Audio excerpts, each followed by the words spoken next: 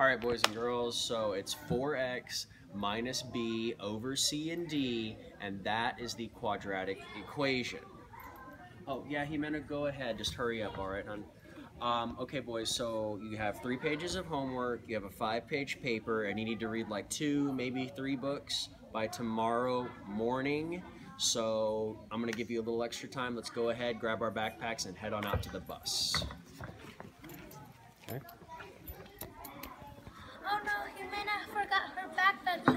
get to her.